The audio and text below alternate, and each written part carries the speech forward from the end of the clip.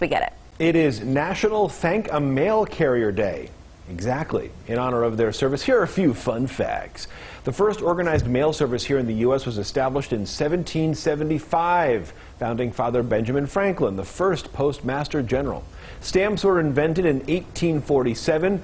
Zip codes have been around since 1963. Now, Huh. it is possible to thank your mail carrier th- with a letter itself and actually mail it to the letter, or you can do it in person. Either Oh, way my. is fine. Either way is fine. What a thought. John, I wonder what they Break did the before. wall. They didn't have zip codes before 63?